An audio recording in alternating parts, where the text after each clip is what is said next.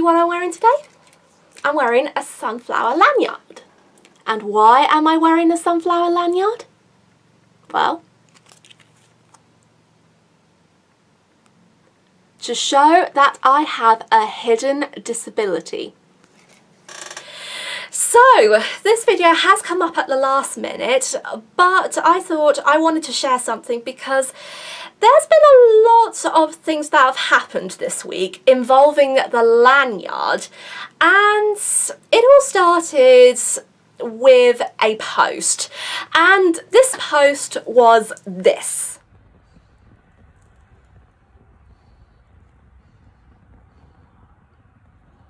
Bet you didn't see that coming, did you? Well, I didn't either.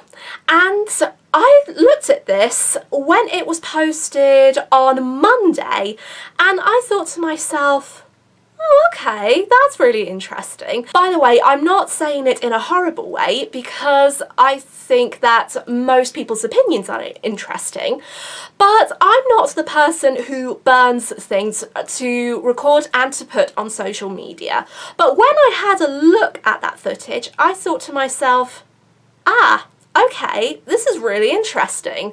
So I decided to actually record a video on this and since this week is also anti-bullying week, I thought I would just have a sit down, talk about it and conjoin those topics together. So what's this all about involving the lanyard?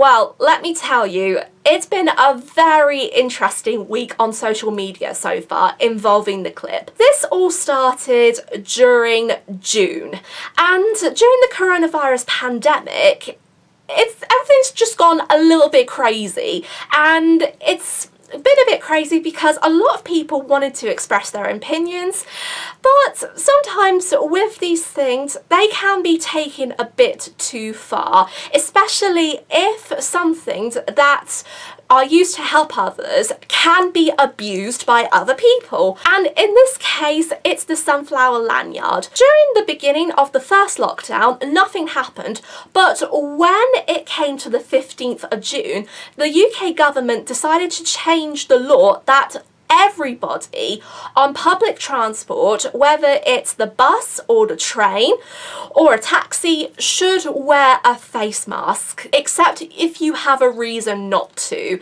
And in this case, for people with invisible disabilities, such as autism, they are entitled to not wear a mask if they show proof that they have an invisible disability. However, the sunflower lanyard didn't begin that way because it began a few years ago and I have done a screenshot of this which I will read out to you now but to be honest though I have made a few screenshots on my phone and there are some that I will put around the video. So the history for the sunflower lanyard begin in 2016 and it said according to Extreme and Couponing and Bargains UK on Facebook the sunflower lanyard was introduced in 2016 to allow people who have hidden disabilities to get help they need in public settings. So in other words, it was originally used to help people who really needed the most. However, not all good things actually present themselves in a positive way because when it came to the COVID-19 pandemic and when the UK government um, created the coronavirus laws, including the law for face masks for public transport, and people using the sunflower lanyards to prove they have a hidden disability, something really, really fell out of place. And this is a few examples that I have seen during the past few months. I've seen in my hometown mo that most people wear a sunflower lanyard, but not just for a hidden disability, but for all abilities, including some people who need assistance in wheelchairs and some people who are walking on their own, some people with their families. And I thought, okay, so the sunflower lanyard has been a benefit from them. However, when I looked on social media, it's wasn't really the case. And on the same post that I've read before, it said, since the pandemic, many people have confused them as mask exemption lanyards. There's a huge increase in people abusing the system as the lanyards are only 55 pence to buy with no proof of disability required Due to this, many people without disabilities are buying lanyards to get out of wearing a face covering while shopping, affecting people who use them as a disability aid. Not only this, but some people are buying the lanyards to sell for profit on eBay and Amazon Marketplace. I don't know about you, but to me, that's absolutely disgusting. People shouldn't really be abusing the lanyards at all as a get out of jail free card. And I just think really it's very pathetic and it's very wrong.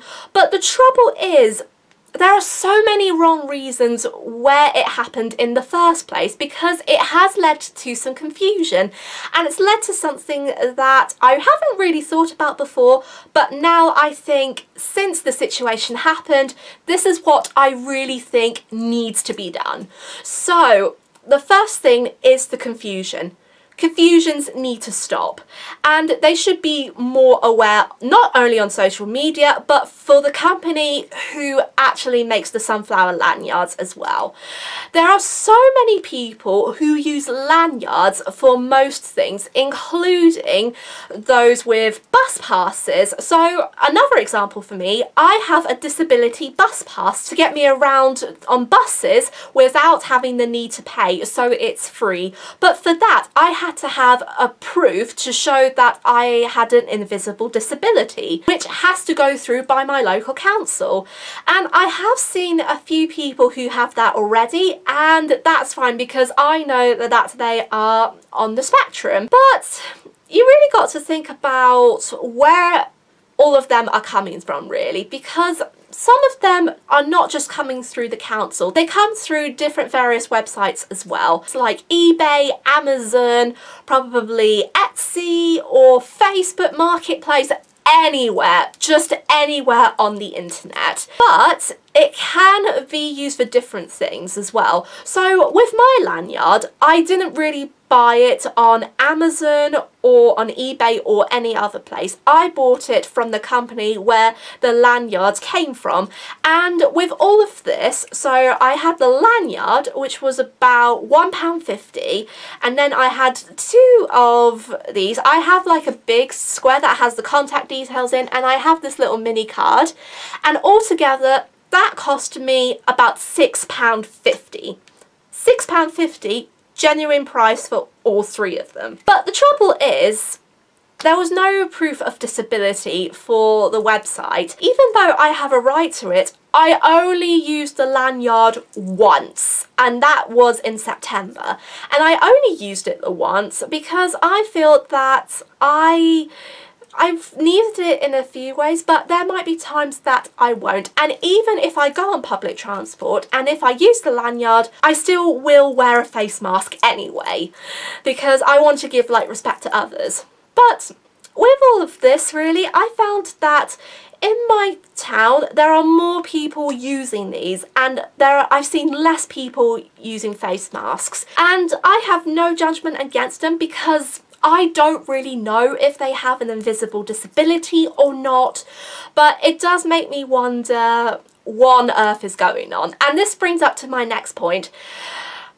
Can someone, the organisation or the councils, please, please, please, please change everything? And finally, if you are using the lanyards and you don't have an invisible disability and you know someone who does, please, please, please give it to them and don't keep it for yourself. But yes, that's probably the main thing I'm going to say. I know I've rambled a lot and I didn't really make any sense, but hopefully I've made my point and I've made the video longer than I expected.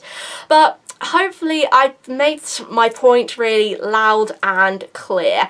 And I will be doing a separate video for anti-bullying week as well this week, but I don't know whether I'll get this video up in time or not. But if you would like to have a look at all the links I suggested, including the coronavirus law and the autism assemble post, or the actual face group itself, I will leave a link in the description box down below. I know that I won't use my lanyard as a get out of jail free card and I probably won't use it a lot, but if you are someone who really needs it the most, use it while you still can. And be kind, be respectful, and let's be open and friendly to both of the communities.